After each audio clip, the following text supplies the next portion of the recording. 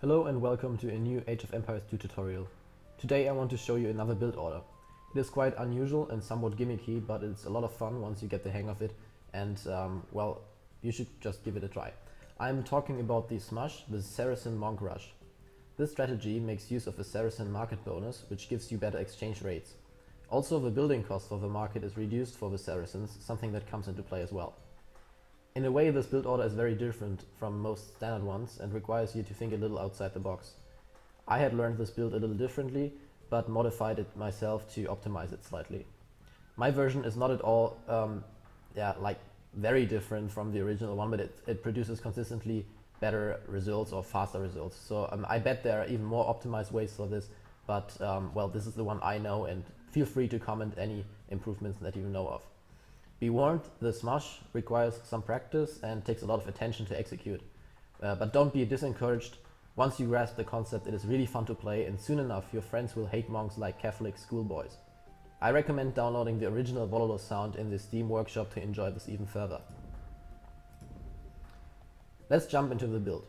First of all, you want to build two houses with the initial villagers. Make sure to build one house with two villagers and the second with one villager. So split them up. The idea behind this is that once your sheep arrive that these two can get to work and the other one can finish up in the meantime. Um, your scout should um, start scouting well and, and, find the initial sheep. You send one of these sheep underneath your town center where the, three villagers you build the houses with and the next three villagers coming from your TC will gather from a sheep. Make sure to only slaughter one sheep at a time to not waste any food to decaying. Since uh, you, if you slaughter any, any kind of animal in this game, the food will slowly disappear. See here comes the sixth in total. And now it already starts to become a little unusual for, well, standard builds, I say. Um, the next three villagers are going to um, the berries and also build a mill there. Um, normally you would go to berries later on, but in this build, few things are normal. I'll speed this up a little. Here comes the first one. He will obviously build the mill. Uh, the mill placement wasn't all that good here, but um, it doesn't doesn't matter all that much. Also, the uh, the um, berry villagers will later take care of building houses. So always build a house if you're two pop away from the um, maximum. So if you uh, reach 13 in, this case, then you should build the next one. So we have the three on uh, berries. And now the next two villagers also come to sheep for a total of eight sheep gathering villagers.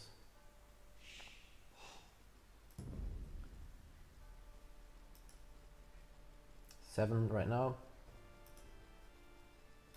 Next one. So now we reached eight. And the next two villagers are sent on a straggler tree next to the TC since we don't have enough wood to actually build a lumber camp. We have to make do with uh, some of these um, straggler trees first. Comes the second anytime soon. Um, and then um, more complicated things that um, will start at least for beginners that is. The next will is uh, sent to lure the first boar. Shoot the boar twice and then run back to the TC. Kill the boar with the sheep vills in a way that makes it die underneath the TC. Make sure to garrison the luring vill in time so it doesn't die and put it on the boar afterwards to not waste any villager working time. So here it moves out and it will shoot the boar twice as I just said. Um, optim uh, so optimally try to finish the sheep that you have already slaughtered first before starting um, killing the boar. Um, but this takes some practice. You will see how I'm trying to uh, lure around and let me pause this for a second. So I, I, the way I will do this is um, try to lure the boar close by and have it get stuck on the other vills while this uh, villager is still running around. So as soon as you garrison your luring villager, the boar will run back to where it came from unless you are shooting it with other villagers. So what I will do is run with the villager, have the boar run into the other villagers while they're finishing up the sheep, which um, still holding quite a lot of food, and then I will try to shoot the boar as late as possible before the villager gets into grave danger or the boar is uh, threatening to run back again. The villager that comes out after, after that is going to, to the straggler trees as well for a total of three. I just paused to make uh, sure that I get everything set in time. So here you see the villager approaching and I want to uh, run through this path in between the TC and the villagers so the boar gets somewhat stuck and then it comes around the other way. Um, if you're not familiar with boar luring that much and uh, especially not with the weight you can delay this boar lure, um, don't try this because it's, it's somewhat risky and you might end up losing a villager, which hurts you much, much more than uh, having an unfinished sheep. If you kill the boar without finishing the sheep, you just leave one or two villagers on the sheep to finish it up and send all the others to the boar. And once the sheep is finished, you send those villagers that finish it up to the boar as well. So now they finished all up and I could um, shoot the boar. And there it dies and I send everybody on it. The next villagers, uh, the next villager um, is also going to the boar, so the one that came after the straggler tree boar, um, villagers. And then the next two go to um, berries for a total of five on berries. So this is the fourth, and then the next one will also go there. And once you finish up the straggler tree, you should have enough wood to send all your free uh, woodcutters to a close by forest and build a lumber camp there to um, gather food from the nearby forest. So that was the fifth, and now this is already the last villager we will do in until we reach Castle Age really. So this villager is the 19th, and this villager will lure the second boar in. Finish up the first boar, and then research Feudal Age. You should be able to do that once the uh, boar is uh, all used up. Uh, typically, you will have to idle your TC for a while to get the food in, so this will slow you down a little bit, but uh, I haven't managed to do this without any kind of delay, so just make sure to um, uh, have the villager, um, well, bring the food in in time and to go up to the feudal age. Try to minimize this time where your TC is not actually doing anything. So the second boar is coming in and then obviously you try to kill it as well, garrison the uh, luring villager, and then put everybody on that boar. Uh, in the meantime, when you are transitioning to the feudal age, you uh, obviously want to slaughter the boar and get all the food. But also you want to readjust some of the villagers that are underneath the town center. You will send three of them to the forest to gather wood and two more to the berries. So we have a total of seven on the berries, total of six on the wood, and another six underneath your town center finishing up the boar and any sheep you might have left. So in this case I still had eight, so I garrison two of those and send them to the berries. So this is really everything um, economy-wise you have to do at this point the idea is really that you reach 700 food by the time you finish up your um, feudal age buildings that you will need to go up to the castle age and then you buy food to get to that 800 in total and then you can move on to the next age. Usually um, this build cuts it very very close so it, you might have to idle your TC to reach this goal and to force drop off some uh, resources but you will see how I do that in a second. When you reach feudal age do not train any new villagers uh, but uh, take two from the, uh, or in total you take three from the berries, have two of them build a market and one of them build a blacksmith.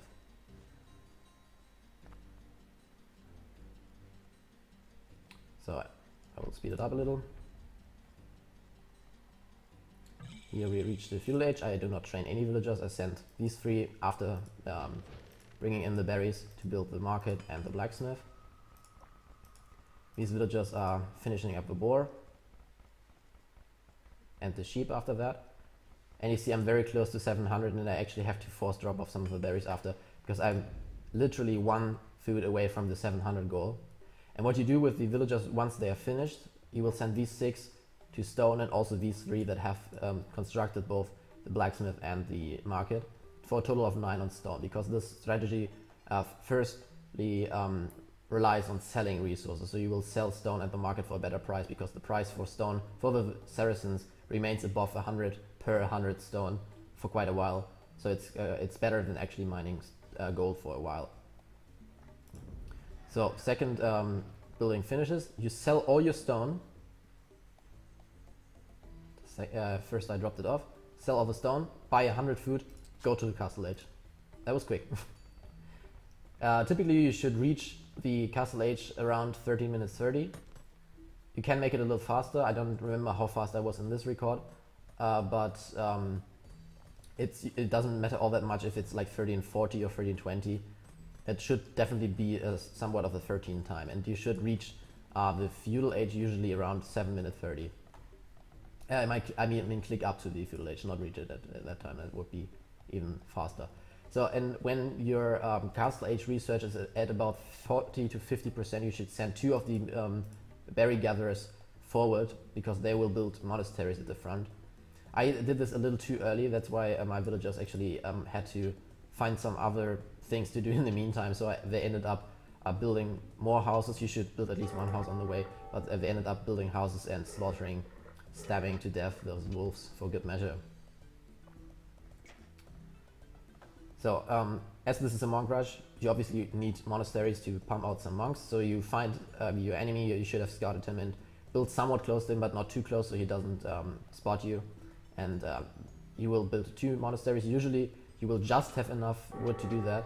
So you might want to build one monastery first and wait for the uh, wood to come in and then build the second. Um, Economy-wise at home, you still mostly rely on the market, so you have just this one berry patch left usually, or sometimes the second one. And first, the new villages will all go to the berries, but soon enough you will have to switch to, uh, to um, farms. And in the meantime, you should just sell your stone and buy some food to keep the economy rolling, because you will be behind on economy quite uh, a lot, so you have to make some uh, catch up. Uh, you have to do some catching up. Um, so now we reach the castle age, you see at roughly 1330. Build the first monastery, I'm just short of, uh, five wood short of the next monastery, so I just waited to for that to come in. And then I built the second one right uh, beneath it, um, next to it. So uh, here we see the new villagers all going um, first to berries and then I decided I will switch to um, wood a little earlier to go to the farms earlier. This is all just a matter of preference, but it's really important to use your market to adjust your economy so your TC doesn't idle necessarily, uh, unnecessarily, that's what I meant. So um, you will not engage unless you have at least four monks. So uh, when you train your first monk, you should uh, uh, see if you have any close by relics you could gather, um, because that will get, get you like a little more gold and you will need a lot of gold. And in the meantime, uh, you, I, I, like to send the two villages I, I sent to the front to some other resource to not waste their time. So in this case, I just send them to a nearby forest and build a lumber camp to have them gather some wood. So I will speed this up a little until we have four monks. So once you have those four monks, it's time to attack, obviously. Uh, focus on converting enemy military units first, because they are threatening to your military, uh, to your monks. So we will see this in a, in a, in a second here. Uh, always make sure to only convert one enemy unit at a time with one monk. So you don't use up the faith of more than one monk at a time. Use monks with recovering faith to heal other monks and convert uh, and converted units alike. So just make sure to always use your monks. And in this case, I'll just stop this for a second. We can see this was the monk that converted this archer. So he is just healing. And this monk has 100 faith and he will start converting one of these skirmishers, I believe. And I didn't attack with this archer, but had it walk around to basically draw the fire and not damage the other units because I wanted to convert them and didn't want to hurt, uh, hurt or kill them in the meantime. So in this case, the enemy spotted me a little early on, so I had not the four monks I wanted to move out, but it's, it's not such a big deal if you uh, are quick to react. But typically you want to catch your enemy by surprise, really. So the initial few conversions are really crucial. Try to not lose any monks, or just lose, try to lose as little as possible, and um, convert as many enemy units as possible to, uh, and not kill them. Try to not kill units and rather convert them so your enemy is, losing um, his troops, but you're also gaining troops. That's really important. And uh, your monks will be able to heal each other and the converted units to make them a lot, little more um, buffed, really, and um, makes it less likely for them to die or lose to the enemy units at all. Uh, once you have converted a few enemy troops, they should be stronger than the enemy with that constant healing going on. And if you caught your opponent with his pants down and he hasn't made any military whatsoever, focus on villages, of course. You should do that regardless, so at some point you should move to this, uh, your enemy's economy and start converting his villagers and try to gather some of his resources instead of yours, so you're basically stealing his gold by stealing his stone. And also I like to build my buildings in, with those converted villagers in the enemy base or close by, so just spam some houses in the enemy base to take up some space and um, build, your, build more monasteries later on if you can afford it, or um, other military buildings uh, depending on how the game is going really. Just make sure to always protect your monks, heal them, um, convert as many enemies as possible, always convert with one uh, monk at a time, and so on. Um, if you have around 10 monks and you can spare it, you should research Sanctity for uh, more HP. I think it might come up soon, I was here for a second. And um, you should also research um, Favor for faster conversions and Redemption but that is really uh, expensive. Redemption makes you convert enemy buildings So you only can get that later on when you're already somewhat rolling. In this case, I waited too long and just um, kept converting enemy units. I should have moved in to convert some of his economy, but I had a lot of fun converting his archers, so I don't know. I was a little too defensive in this case. You should move out a little earlier. Try to get some of those uh, gold villagers to collect some of his gold. Speaking of which, um, obviously the gold is coming from selling stone and at some point the price will drop so it will not be worth it anymore and you should move your villagers to mine gold instead. Usually you should do that around when the price drops to maybe 90 per 100 units of stone. But in this case, I, I totally forgot about that, and I think I only moved them when the stone mines ran out. Um, so here we see the greatest threat to the monks, that's the scout. So you should either focus them down with the converted units or try to convert them regardless, but they resist conversion quite a lot, and uh, that makes them a big threat to monks.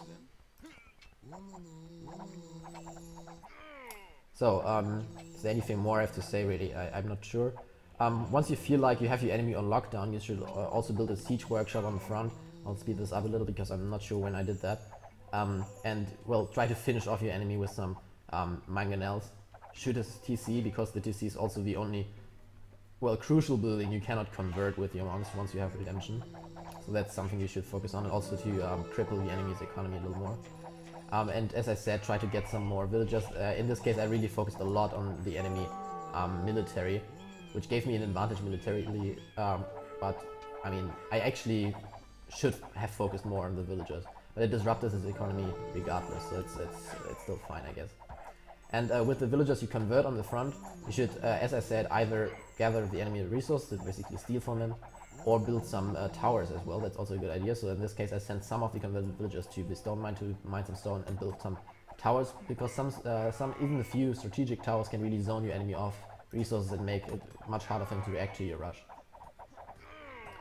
So this smush is um, somewhat difficult to execute because you have to control all your monks individually and have to manage the economy at home as well. Obviously the strategy leaves you very vulnerable at home and despite a 30-30 castle time, it's much slower than more, more common uh, rushes. So it's rather a fun strategy that you can use against weaker enemies uh, to troll your friends or to play against the AI, uh, such as uh, in this case. Uh, to counter the smush, uh, the smush, smush um, throw scouts at the monks. So because of the reasons I, I, mentioned, they resist conversion and they are really effective against scouts, against monks, obviously. So also harass the enemy in his unprotected base if you're facing a smush, because the enemy will have basically nothing at home, so you can just disrupt his economy and uh, punish him for um, moving forward and uh, investing so much into monks. Um, and uh, you can also use towers to zone off some uh, parts of your economy because monks are not really faring well against towers. Even with redemption, it's not really worth converting. Um, against typical rushes, the strategy usually doesn't work. Um, so if your enemy is doing a scout rush, a dark age rush or a tower rush, this march usually loses to that because it's just that much slower and it takes a lot of commitment and a lot of idling and uh, has a crippling economy really so it's it's pretty risky but if you can really perform it it's a lot of fun and you saw I just built the siege workshop and the AI already gave up because I had converted a shit ton of his units and he was basically zoned off all his resources I had this tower here up killing some of his villagers um, a human player might even react worse in the AI, AI because it's uh, such an unusual strategy. I, I, don't think it's played that much online anymore. So if you have some friends you really want to fuck over or uh, just um, well troll some people, it's really a fun way of doing that.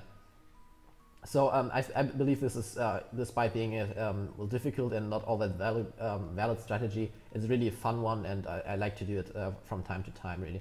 So I hope you enjoy this much and uh, you can get the Wololo party starting. I will um, show you quickly the um, uptimes I had in this case. It was a 938 feudal age time and a 1326 uh, castle age time. It's not super good, but uh, it's absolutely decent. So as long as it's not 13 minutes, you should be fine. Against the AI, it really doesn't matter all that much because they usually play a little slower, even when they're rushing. The rushes are not coming in before the 15 minute mark, so you should still be able to catch them off guard. So I hope this uh, was uh, fun to watch and hopefully you can uh, also um, do this after a little practice. So good luck and have fun.